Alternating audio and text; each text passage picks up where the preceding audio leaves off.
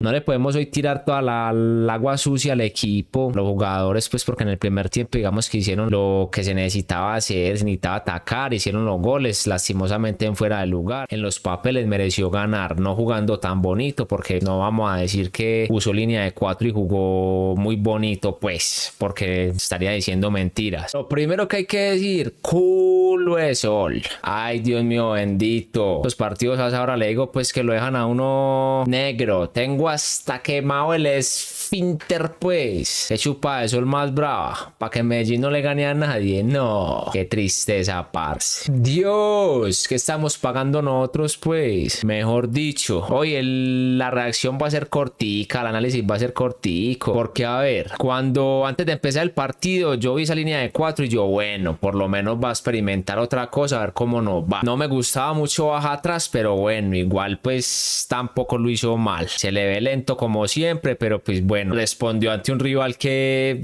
no hizo sino tirarse todo el partido, haciendo tiempo, haga y haga tiempo, muy mediocre los de equidad, muy mediocres, pero bueno, ese es el estilo cochino de, los equipos de, de Alexis García, ¿qué le vamos a hacer? Medellín tenía que luchar contra todo eso, teníamos, teníamos que buscar los espacios, buscar el desequilibrar, se mejoró con la línea de cuatro, se fue propositivo, pues, tan siquiera se fue propositivo y se intentó ir al frente, porque con la línea de 5 no teníamos ya en León quemado del todo arriba, por lo menos con línea de 4 se intentó más y hubo más asociaciones, hubo más juego colectivo, pero me sigue faltando quien enlace los, los volantes con los delanteros, volantes, defensas con delanteros, me sigue faltando eso y creo que eso ya no lo vamos a conseguir, vamos a seguir viendo un Medellín que va a ser un poco más de, de velocidad, un poco como, o sea, no tan pensante en el medio campo, porque no hay quien piense pues ahí, Alvarado es un gran jugador, pero él no es 10, él reparte balones, él es el encargado de sacar el balón al 10, sí o qué, o a los volantes que estén ahí delante de él, pero en el Medellín no, no, no hay esos volantes que enlacen con los delanteros y por eso a veces los delanteros se ven tan solos arriba. Me gustó la función del chino, me gusta la función del chino, es que esa es la función del chino, el, chino me gusta más volanteando y, y, llegando al área, llegando al área, me gusta más esa función, ese es un chino más punzante, un chino diferente, un chino que estuvo, o sea, no sé si, no sé si falta de atención, porque también puede ser que la defensa se movió bien y lo dejó en fuera del lugar, no he visto la verdad las jugadas, pero goles anulados que pues, bueno, nos hubieran podido dar la victoria, anulados por VAR, porque ni el juez de línea lo vio, luego dos tiros en el palo también del chino y, el Medellín empató un partido pues que en los papeles mereció ganar, no jugando tan bonito, porque no vamos a decir que usó línea de 4 y jugó muy bonito, pues, porque estaría diciendo mentiras. Se le dio un poquito de mejoría, pero igual el equipo sigue jugando a nada. El equipo sigue jugando a nada. No sé para qué tres jugadores delanteros arriba. O sea, Mender García no desequilibra de extremo. Mender García es un jugador que no sabe definir, que mete poquito miedo. La verdad, a mí Mender García tampoco es que me guste mucho. No,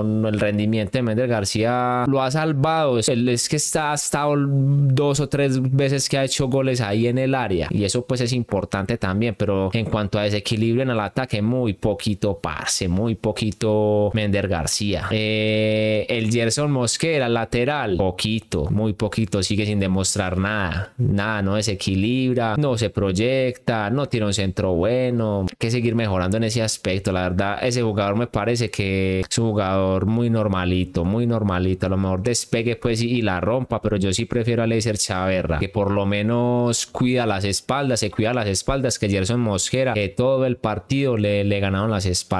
No le podemos hoy tirar toda la, agua sucia al equipo, los jugadores, pues porque en el primer tiempo digamos que hicieron lo que se necesitaba hacer, se necesitaba atacar, hicieron los goles, lastimosamente en fuera de lugar. En el segundo tiempo, no sé, se bajó mucho el ritmo, ya no fue tan, tan incisivo arriba, tan buscando como tanto el gol. Se intentó por, de, por varios medios, por los costados, por el medio, pero pues ya ha encerrado atrás y haciendo tiempo, fue muy difícil y, y se empató un partido pues que en los papeles Medellín, como les digo, mereció ganar. Yo hoy digo que sigo prefiriendo la línea de 4. Por lo menos se vio algo diferente hoy. Se atacó. Se con línea de 5 no estábamos haciendo nada. Absolutamente nada. Lo que el rival quisiera hacer con nosotros. Hoy se ve, hoy se vio un partido, pues por lo menos que, que lo salió a buscar. Es que de locales tenemos que salir a buscar. Se tiene que ir un equipo diferente. Falta mucho trabajo en el equipo. Eh, sigo ratificando que no me gusta el técnico Alejandro Restrepo a lo mejor no saca campeones y, y, la rompe con Medellín, dirigiendo a Medellín, pero para mí es un técnico que no, no, no tiene por qué estar en el equipo. El equipo no se le ve ningún juego, lleva 12 fechas con Medellín y el equipo jugando a nada. Sabemos que la excusa va a ser, no, es que yo esos jugadores no los, no los contraté, esa va a ser la excusa de este semestre. El otro a lo mejor le traen los jugadores que él quiere y Dios quiera funcione. No quiero desearle tampoco que, que, que le vaya mal al equipo, pues porque todos queremos que Medellín gane. Lo que sí digo abiertamente es que Alejandro Restrepo no es de mi gusto, no me gusta como técnico del Medellín, no me gustan sus planteamientos, no me gustan sus cambios. Ojalá pues no saque campeones, pero lo veo muy complejo por la forma en que juega Medellín. Nada más que decir cortico porque pues hay un partido en el que Medellín en los papeles mereció ganar como lo he dicho anteriormente y, y no se le dio, hoy no se le dio. La suerte que nos acompañó en otros partidos hoy no, no estuvo a favor de nosotros. No se les olvide pues darle compartir, me gusta, dejar su comentario, que o sea que es importante también leerlos y siempre lo estoy leyendo por ahí, la re buena pues.